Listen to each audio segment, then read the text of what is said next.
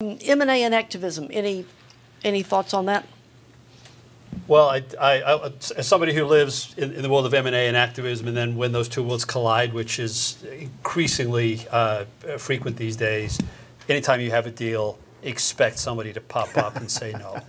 It's just, and maybe it's just my world uh, recently, but um, you know, we just we just went through um, with Chris's team the, um, the the vote at, at, Magellan Midstream, where you know a, three or four percent shareholder popped up.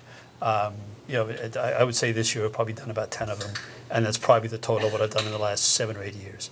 So it's just, you know, e- either because an activist really wants doesn't think that the deal makes strategic sense, but a lot of it's just what they call bumpitrage, where they're just trying to yeah. get a little more money out of them, and that's um, so I think if you got a deal, just be prepared for for somebody to pop their head up and say no there's a whole generation of activists who made their name, they made their bones 10 to 15 years ago. I leave Icahn aside because he's been doing it longer than I've been alive. And you could leave Nelson Peltz out of this for the same reason. But Ackman, uh, Loeb, um, Greenlight Capital, a lot of those guys, they built up what it is that we think of shareholder activism now. What they're doing was something that the Raiders were doing before them and the proxy tiers in the 50s. That's not new. But this buy part, buy part of the company and then pretend that you are the representative of 100% of the shares and you see things. Those guys were really good at it, uh, Jeff Ubben. They were really good at it to the point where they didn't need to run contests anymore. And now, I mean, a lot of them are still younger than me, but Ackman, Ackman has effectively retired from that. He said he's retired, but you look at what he's done. He's not running proxy contests, although I think he probably still is badgering people in the background. Jeff Ubben left uh, ValueAct. He started up his own you know, successor firm, but the successor firm is a kinder, gentler kind of activist that doesn't run proxy fights and focuses narrowly on some things.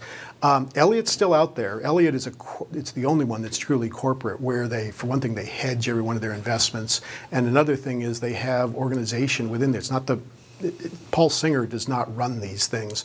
Uh, the portfolio manager, who's upset they can't get change, works with the team that actually really focuses on developing the decks and everything else. They don't run many proxy fights because they actually put in the work and they present something that probably looks pretty good. When they're wrong or when it doesn't look that good inside the company, you see it. I think we're going to see it at NRG in the spring because there's no room to settle in between. And they've already two. talked to all the big shareholders, yeah. and they know they've got the, the, the, backing. But no one. So the the guys who 10 or 15 years ago were making their bones, a lot of those have stepped out of it. Icahn and Peltz are. Look, they're in their 80s. They're not buying ripe bananas. They're not going to be doing this a whole lot longer. Um, you're kind of left with a lot of the ankle biters. And the ankle biter, meaning they didn't have much AUM, not that they couldn't be loud, and but they're not going to develop up to the same level. I think what we're seeing with activism, it's not that it's gone away, but we've sort of reached peak activism. The number of con- actual contests that are run each year or nominations are delivered, it falls within a fairly narrow range. When I was at ISS, we used to track how many we wrote on each year. So definitive proxy filing where there was no settlement prior to that.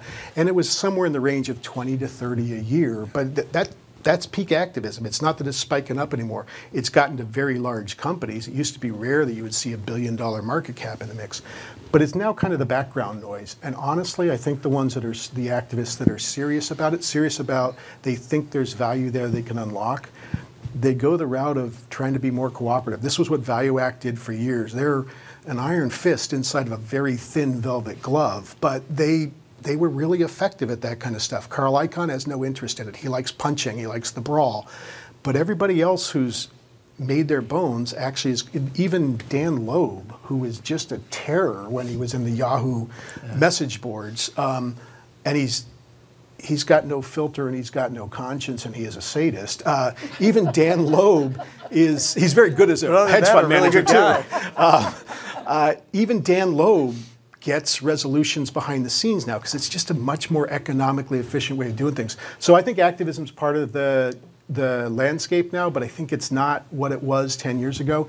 And I think the bumpitrage thing is that that's in certain parts of the economic cycle, that's just much easier to do. You don't have to worry about is my plan really going to work out over three years? It's can I get more cash today? Can I get another dime?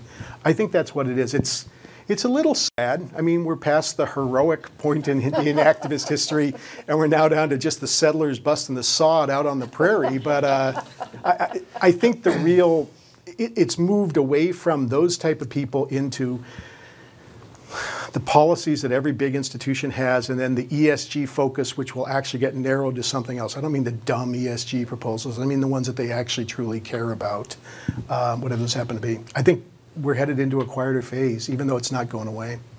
I think these guys have covered the waterfront pretty well. If you sign up a big deal, you're going to get sued. There's going to be a strike suit, and then you got to closely monitor the stock price, looking for activists or arbitrageurs. So, I think that's just part of the the.